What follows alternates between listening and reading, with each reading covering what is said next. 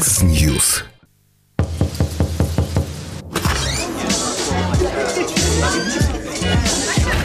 У нас гости! Ребята, а это я ломаю дверь. Телефон прямого эфира Радио Болтком 672 12 93 и 9. Добрый день. В эфире радио Болтком программа «Разворот». И сегодня в эфире э, ведущая я, Рита Трошкина, в студии звукорежиссер Евгений Копеин. И у нас сегодня очень интересный, замечательный гость Игорь Боленский. Искусствовед, писатель, журналист. О нем очень долго можно рассказывать. Он автор более ста интервью со знаковыми персонами, просто вот такими знаковыми в мировом смысле, среди которых Солженицын, Ростропович, Катрин Галина Вишневская и очень много еще других.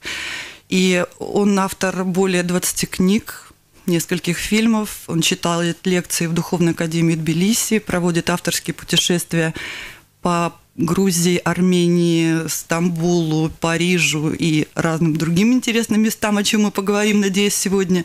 Он исследователь русской эмиграции.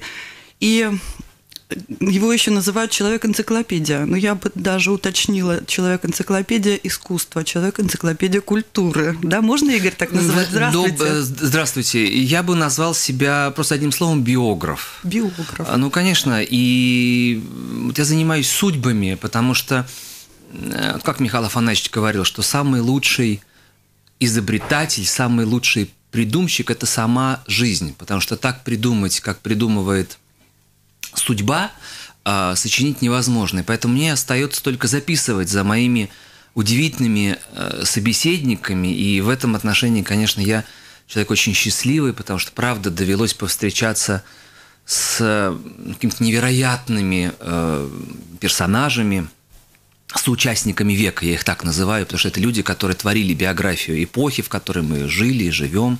Ну вот и можно, наверное, сказать, что вы такое связующее звено между людьми, эпохами, странами даже, да? Потому... Ну, я уж бы так э, на себя не брал, э, такое громкое Но звание. Это, это мы я просто скажем. человек, который записывает, пишет то, э, что ему интересно, и э, очень счастлив тому, что это оказывается интересно и моим читателям и слушателям. Но я не просто так это сказала, эту фразу, потому что буквально вот вчера, да, 6 5, воскресенье 5 числа вы у нас не просто так в Риге, а вы приехали с такой замечательной культурной миссией, проводили моноспектакль и лекцию по картинам Валентина Серова. Да, судьба Валентина Серова и его героев, и я очень счастлив, что было так много слушателей, что был полный зал, и даже на балконах были, и для меня, конечно, это было...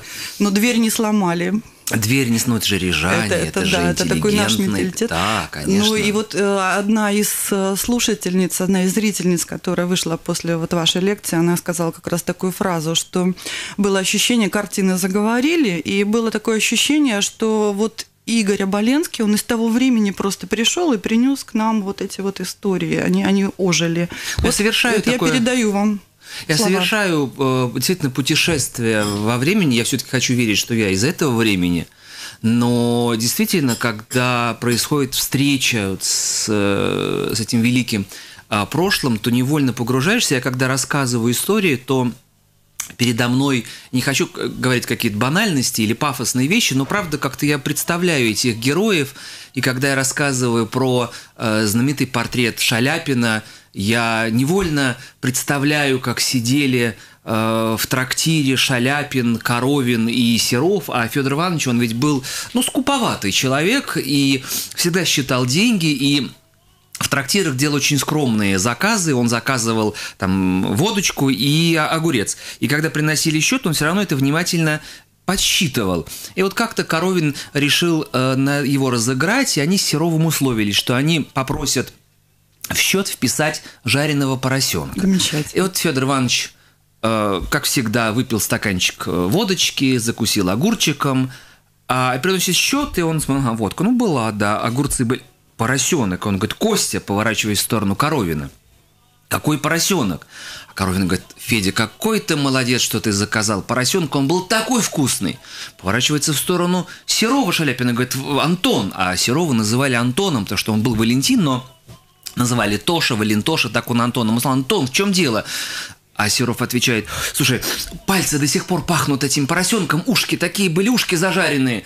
И разыграли Федор Иванович. И когда я это рассказываю, то вот не то чтобы они оживают передо мной, но как-то эти картинки, картинки предстают. И мне кажется, что зал, зал э, это ощущает. И чем прекрасны вот такие вечера для меня, что я сам вместе со своими слушателями совершаю путешествие, потому что я, э, когда была эта замечательная выставка Валентина Серова в Третьяковской галерее в Москве, прочел, наверное, 10 лекций на самой экспозиции. И, казалось бы, я мог уже рассказывать про картины, как, знаете, рассказывают прогноз погоды, не глядя на да, полотно, да, да. говоря, что здесь это, здесь это. Но каждый раз, когда я приходил и видел э, интересы, внимание слушателей, я вновь загорался. И каждый раз, когда приходит новые зрители, новые слушатели, каждый подмечает что-то свое. Вот даже сегодня я утро начал волшебно совершенно. Я отправился в Рижскую биржу, где невероятная выставка художника Богданова. И он называет Богданов Бельский. Бельский – это псевдоним, он себе взял по уезду, где жил. И я получил какое-то колоссальное удовольствие, такой укол счастья, прививка счастья.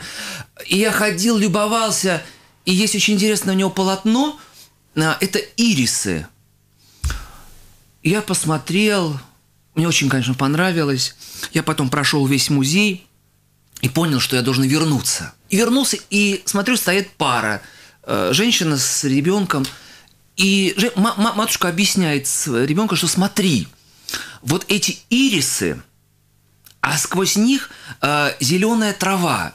И посмотри, как написана эта трава, словно какая-то тайнопись, словно это слова зашифрованные. Я подумал, боже мой, а мне даже в голову не пришло такое сравнение. Да, так что вот я был так, так признателен, что такой необычный вывод они сделали. С вами очень приятно ходить по Риге, потому что вот мы сейчас шли на радио пока на каждом шагу просто останавливаетесь, смотрите такими ну, невосторженными, а прекрасными светлыми глазами вокруг и говорите, о, как красиво, о, как красиво. Постоянно. Потому что, знаете, очень просто быть счастливым. Для этого нужно да. захотеть а, и увидеть красоту. А, правда, говорили же, да, что красота, она в глазах смотрящего, но вот э, я вижу красоту всегда, тем более в Риге здесь и большого таланта не надо. Просто поверни голову, голову налево, голову направо и, и, и, и приподними. Это, ну, это восторг, конечно. Вот мы с вами сейчас проходили через этот парк, и плывет э, кораблик, а в э, канале отражается небо, которое пробивается сквозь листву, и уличные музыканты начинают играть. Ну, чудо же. Это надо увидеть. И плюс еще есть имена, которые нас объединяют. Я имею в виду Вию Артмана. Да, это моя говорили. была Расскажите, очень, пожалуйста. очень большая любовь. Э, я тогда только начинал свою, с позволения сказать, журналистскую карьеру. И, и Ви Артман приехала в Москву. Мне так захотелось с ней повстречаться, я очень волновался, потому что ну, это живая легенда. Она очень быстро согласилась на встречу. И я знал уже тогда, что как-то в Риге у нее не очень просто складываются отношения. По-моему, выселили ее из, из квартиры. А, вообще, ну, было как-то все не очень просто. И я думаю, сейчас я задам ей самый оригинальный вопрос. И говорю, Вея Францевна, а вам хочется в Ригу? Ожидая, что он скажет, да нет, что вы, я хочу остаться mm-hmm. в Москве. Она говорит, очень хочется. Я так хочу в Ригу, я так соскучилась по Риге. И меня так в Москве огорчает, что нет солнца, ни одного кусочка вот чего-то чего желтенького, чего-то яркого. И мы с ней сели, она взяла салфетку, мы заказали кофе, Кофе она так и не притронулась, и из салфетки она делала какие-то немыслимые фигурки, и она рассказала мне всю свою жизнь. Она рассказала За это мне, время, да? Да, она рассказала историю э, своих отношений с мужем, которые были очень непростые. И когда его не стало, вроде бы могло прийти какое-то облегчение, что вот она осталась одна, свободна. Артман сказала мне, я его похоронила, пришла домой и вдруг поняла, что больше никогда его не увижу, что никогда больше не раздастся вот этот шум ключа в замочной скважине. Я никогда не увижу его плащ на вешалке. И я поняла, что, что это была любовь. И она рассказывала, э, здесь был тот случай, когда не нужно было задавать вопросов. Я слушал ее, и очень ее, конечно, полюбил, потому что для меня Ви Артман все-таки в первую очередь был, э, была э, актриса из фильма «Театр». И когда мы с ней побеседовали, мне захотелось сделать ей какой-то подарок. Я узнал, когда она уезжает в Ригу, и успел в последнее мгновение прибежать на вокзал – и принес ей большой-большой букет нарциссов. И она сказала, боже мой, Игорь, вы подарили мне солнце. То солнце, которого я не увидела в Москве и поставила в своем купе этот букет. И вот с этим букетом она Вы ее провожали уехала. на да, она уехала в Ригу. И, конечно, Сегодня обязательно отправлюсь на могилу Ви Францевны и обязательно принесу ей, уже я не знаю, найду ли я нарциссы. Найдем нарциссы. Но, Найдем да. нарциссы. Это, это очень приятно. Такие воспоминания. Мы надеемся, что когда-то они войдут, может быть, в очередной Есть цикл, уже да? книга, у Есть. меня есть книга, да. В этой книге я описал встречу, у меня двухтомник. Называется э, «Четыре друга эпохи и четыре подруги эпохи». Это мои беседы с легендарными женщинами, с легендарными мужчинами. А, Такая попытка э, отчасти мемуаров, наверное, даже, потому что ну, я описываю э, те, с кем свела меня жизнь, и Вии Францевне, конечно, посвящена отдельная глава. Ну, Мы знакомы хорошо с Кристианой Димитер, это дочка Виартмана, да, и вот Марис, наш фотограф, который вошел, он тоже с ней дружит. М, большой И привет от меня и поклон. вас Да. при случае тоже познакомим. Она очень интересный художник. Художник. Здравствуйте. Так что еще одна ниточка, связующая Да. вас с Латвией появляется. Да? И давайте, может быть, сразу про проект, который мы, мы очень надеемся еще увидеть не раз вас в Риге, потому что нам очень нужны такие встречи, такие Как лекции. я надеюсь еще раз, много не раз увидеть Ригу, увидеть вас, увидеть слушателей, потому что ведь очень важно, а, чтобы состоялось, а, чтобы произошло событие, чтобы был отклик с той стороны зрительного зала.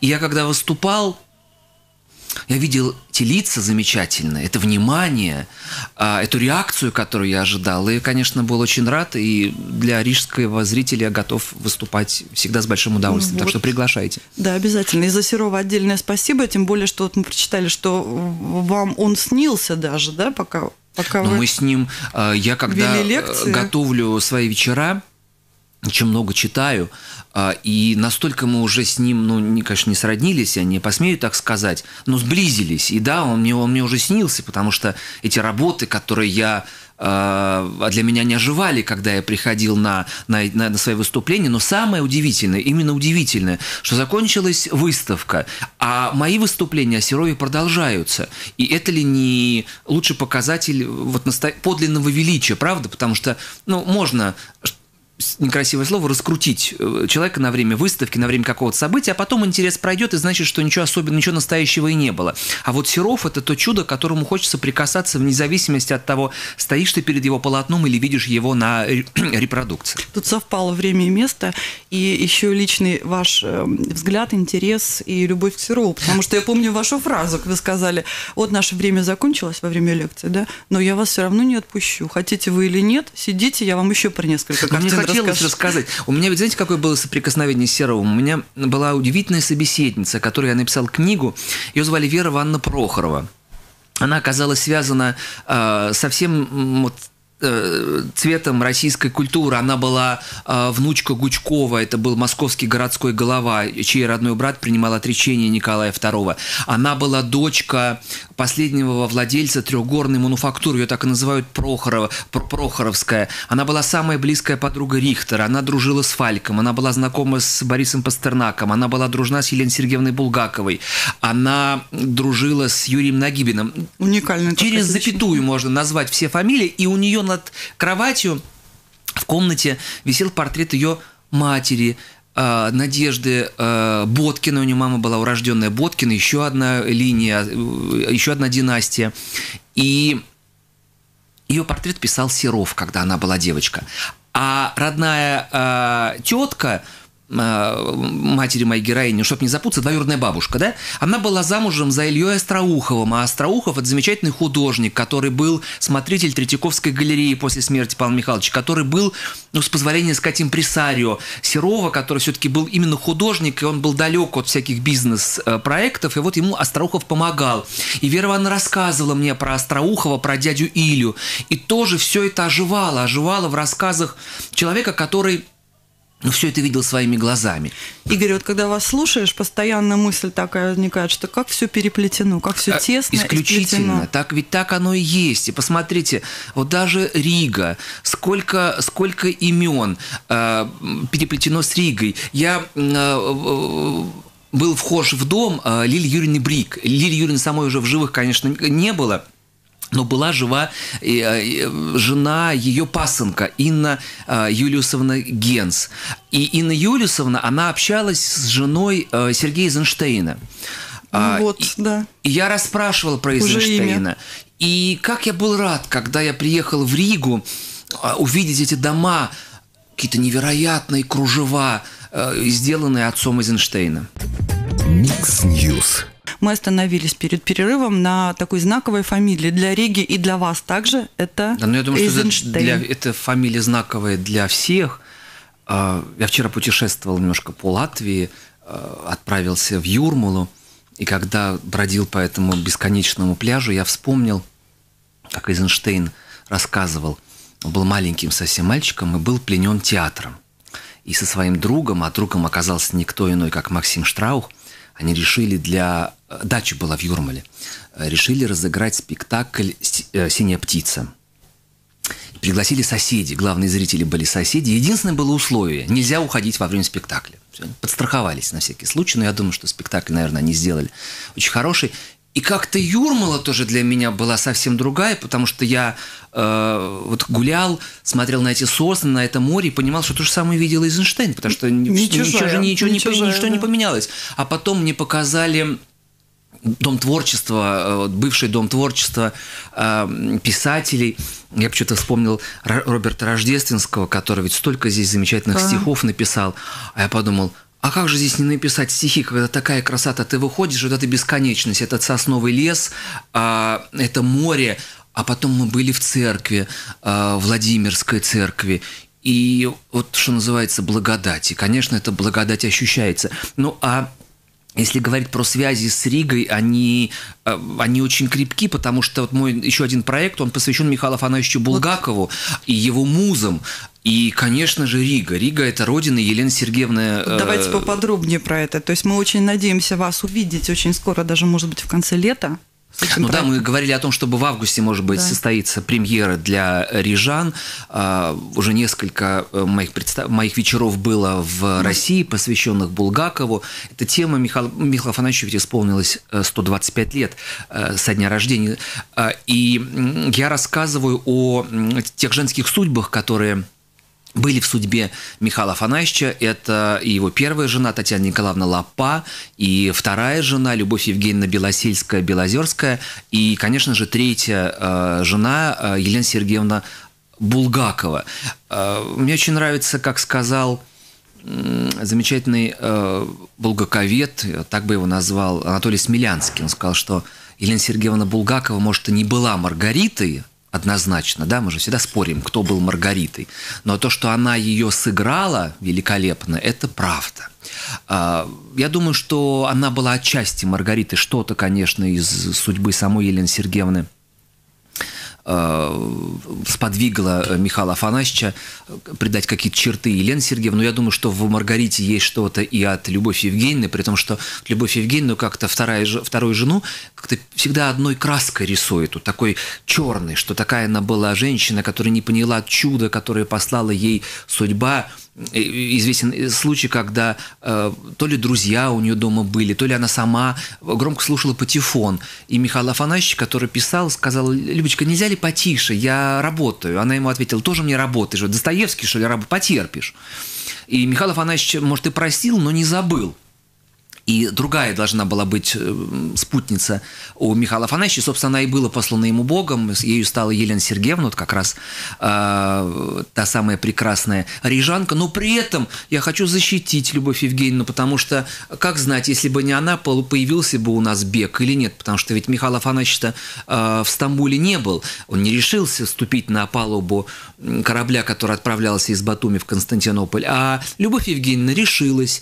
И она ему рассказывала о Константинополе. Сегодня, когда мы читаем «Бег», мы представляем, кажется, что человек, что Михаил Афанасьевич ходил с блокнотом и просто записывал все, как происходит. И когда я провожу путешествие по э, Стамбулу, э, вот вижу мраморные ступеньки храма, который э, ведет к русской церкви в районе Каракей.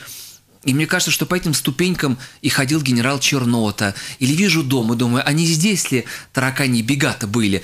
А, И вот, пожалуйста, я считаю, что Любовь Евгеньевна, нужно ей тоже, вернее, нужно ей поклониться за то, что она так подробно и ярко рассказывала Михаил Афанасьевич об этом.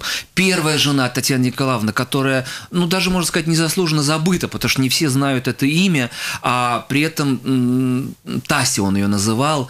Э, Это была большая любовь его жизни. И знаете, как интересно, она приехала из Самары к нему, и он ее повел, ей было совсем немного лет, она была гимназистка, и он привел ее во Владимирский собор а, в Киеве. А, сам был еще студентом и показал на фреску. На этой фреске Понтий Пилат допрашивает Христа.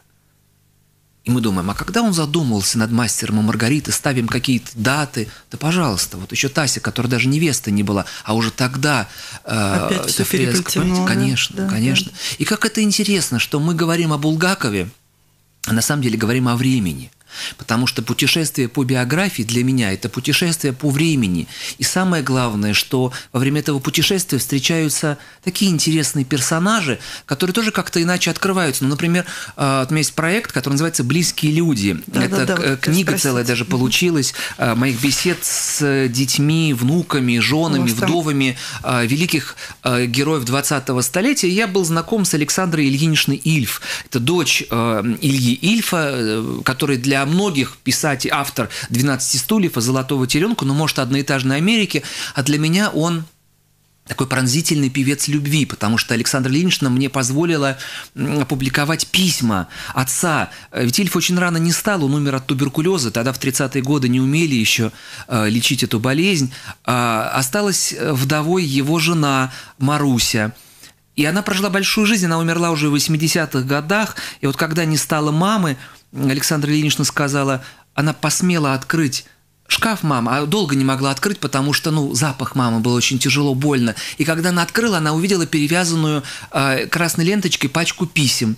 И она начала читать эти письма, и оказалось, что это письма о любви. То есть э, Ильф писал жене, жена ему отвечала. И в этих это письмах предстает совсем другой Илья Ильф. А, такой тонкий, такой пронзительный, такой, такой настоящий. И я очень рад, что я сумел частично эти письма опубликовать. А причем здесь Ильф и а, Булгаков? Да потому что есть такая легенда, будто бы Ильф с Петровым прочли «Мастера Маргарита» и сказала, сказали, Михаил Афанасьевич, выкиньте всю линию Понтия Пилата, и тогда напечатают. А, И, мол, им ск- ответил Михаил Афанасьевич, ну если даже вы не поняли, ложь. Неужели Ильф с Петровым не поняли э, всю гениальность, и что самое это главное, там это как раз история Понтия Пилата и Ишуа. И Александра Ильинична, которая унаследовала отцовское чувство юмора, у нее на визитной карточке было написано Александр Ильф, дочь Ильфа и Петрова. И она мне сказала, что, конечно, папа не мог такого сказать, и он отдал должное гению Михаила Афанасьевича. Все вы же понимали, что это за... Все настоящие писатели понимали. И вот мне тоже очень приятно, что я, рассказывая о Булгакове, могу сослаться на, э, на повествование живых свидетелей э, происходившего. Очень будем ждать это- этот моноспектакль ваш, потому что слышали много уже откликов хороших эм, от зрителей московских и других, Спасибо, да? спасибо, я буду очень рад. И вот в, э, в вашем цикле там близкие люди, там у вас и мама Андрея Миронова, и вдова Вертинского, Лидия Вертинская, и дочь барона Врангеля, да, насколько я понимаю, и дочь Хрущева, еще и все эти персонажи. Но я все-таки хочу, у нас времени не очень много, остановиться на еще одной теме, ниточке еще одной, которая, опять же, с Ригой связана каким-то таким боком, да, интересным, неожиданным. Это пиросмания. Это вот эта история любви пиросмании и Маргариты Да. да, Пиросмания. кото- который, от- а- откуда появилась тема миллиона алых роз. А, Я начну с того, что откуда в моей жизни по- появилась э, тема пиросмании. Безусловно, это художник, которого, имя которого известно, а, которого совершенно не обязаны все любить. Я, когда, например, пришел в Национальную галерею Грузии, я шел с, с чувством долго восхититься клеенками пиросмании. И случилось совсем наоборот, он мне не понравился. Ну как же так, пиросмани, весь мир в восторге, а мне не нравится. А, И я начал водить в Национальную галерею своего сына и показывал ему пиросмани. И через его восторг я полюбил пиросмани. А, Ну, о пиросмане написаны книги, сняты фильмы. И браться за эту тему я как не собирался, пока оказавшись в гостях в доме одной грузинской семьи, я не услышал, как хозяйка произнесла фамилию Зданевич. А Зданевич, конечно, я это имя слышал, это первооткрыватели пиросмани, люди, благодаря которым, собственно, имя пиросмани и зазвучало. Я спросил, а э, вот Зданевич, вы сказали, это имеет отношение к тем Зданевичам, сказать, что значит имеет дочь родная? И так я оказался в гостях у Мирель Кирилловны Зданевич, у дочери Кирилла Зданевича и племянницы Ильи, э, которые, собственно, первыми и рассказали нам о пиросмане, потому что так иначе он был художник-оформитель. Он расписывал духаны, писал клеенки для духанов, никто бы никогда а, о нем, может быть, никогда и не говорил. И я начал расспрашивать Мирель Кирилловну. Она мне рассказывала, как папа с дядей открывали пиросмани, как они встречались с ним, как они задавали ему вопросы. И она мне рассказала историю Маргариты. Я это спросил, реальная история. Я спросил, Мирель Кирилловна, ну, признайтесь мне, ну, мы же с вами уже знакомы, придумали, придумали. эту историю про Маргариту. Она сказала, что значит придумали. Сейчас фотографию вам покажу. И принесла мне фотографию. И на этой фотографии возле знаменитой клеенки Маргариты стоит женщина, уже в возрасте, ну, похожа на героиню полотна. И оказалось, что действительно была такая Маргарита де Север, которая действительно была в Тифлисе, которая действительно увидел пиросмани и был так влюблен, что продал – молочную все, что мог. свою, да. Купил не миллион алых роз, но купил все цветы, которые продавали в Тифлисе. И она уехала. Действительно, поезд ее унес. И спустя время, уже в конце 60-х годов, когда была выставка пиросмани в Лувре, она приходила на эту выставку, ее никто не знал. И просто обратили внимание, как эта женщина ходит и ходит, ходит и ходит. И в конце концов к ней подошли и сказали, вот вам, наверное, интересен наш грузинский художник. Был такой Николос Пиросманашвили, а женщина обернулась, она стояла как раз возле полотна, возле клеенки, а, и сказала, да знала я пиросмане, только я выглядела немножко по-другому. И тогда поняли, что это та самая Маргарита. А еще мне было интересно узнать, а, Вознесенский писал о пиросмане или нет? «Миллион алых роз», собственно, имя-то зазвучало, когда Пугачева спела на а, музыку Раймонда Пауса написал, пожалуйста. Да. И я позвонил Зое Борисовне Богуславской. Андрей Андреевич уже не было в живых, а Зоя Борисовна Богуславская, вдова Андрея Вознесенского, жива, здорова, дай ей Бог, многих лет, она мне подтвердила, конечно, конечно, это посвящено Пиросмане, конечно, это посвящено Грузии, которую так любил Вознесенский. И я понял, что все складывается, и вот появилась книга. Знаете, какие интересные продолжения вообще вот эти судьбы и встречи. Да, так что будем еще говорить про Пиросмане в Риге. Да, да, да, это потрясающе, потому и что... пригласим Раймонда Вальдемаровича обязательно, Пауса. Обязательно, потому что его музыка, она да. тоже сыграла огромную роль. Конечно. И я была потрясена. У меня культурный шок был, когда услышала, как южнокорейский корейские девушки, ансамбль поют на и корейском Японии, языке, конечно, на японском конечно. эти, эти песни. Да, да. Так что это не только вот на нашем пространстве. Э, совсем мало времени осталось, я должна спросить про Грузию. Это у вас совершенно не случайная страна в вашей жизни. Э, более того, если вы нам захотите, то расскажете про женщину, которая привела вас в Грузию. Да, как я, конечно, говорите, захочу. История, я, я про, пропою история про женщины нее, да. это История женщины а, это приглашение к счастью, как вы сказали. Да, да, это правда, это правда. Это ваша фраза. А ее звали а, и зовут, хоть ее уже нет сегодня с нами, Софико Чаурели.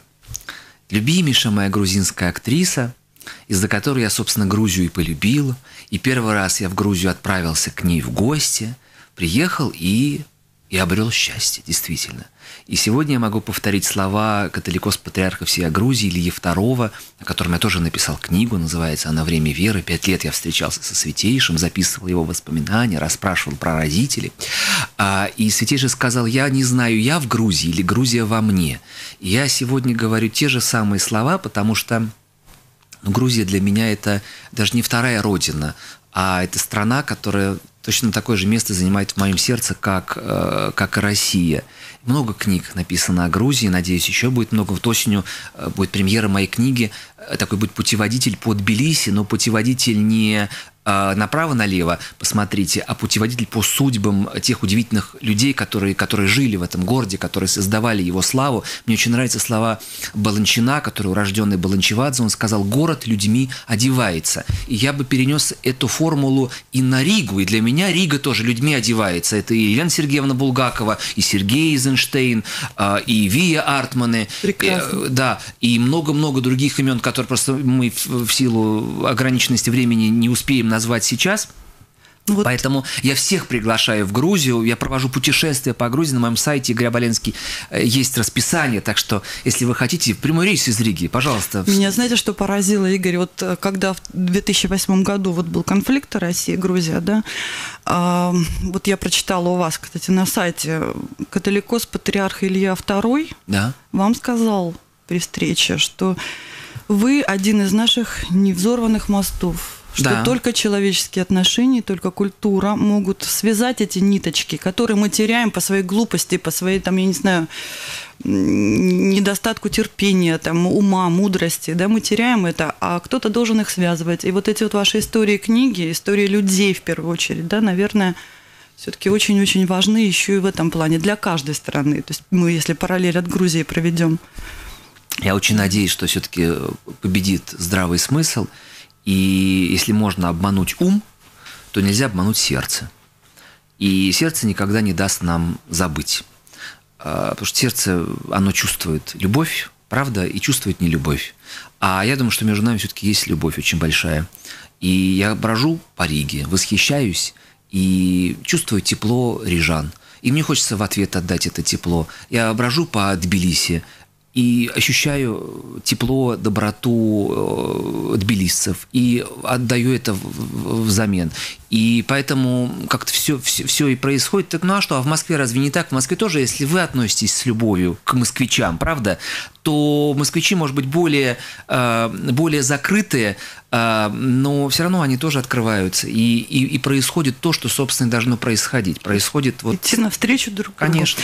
У Шварца мне очень нравится в одной из сказок есть такая фраза, диалог такой, да, вы не скажете, что там наверху происходит? Я в последнее время стал плохо видеть. Ему отвечает, сегодня каждый сам для себя решает, что он видит. Вот так и получается, да, то мы выбираем модель всегда, отношений, мы всегда выбираем.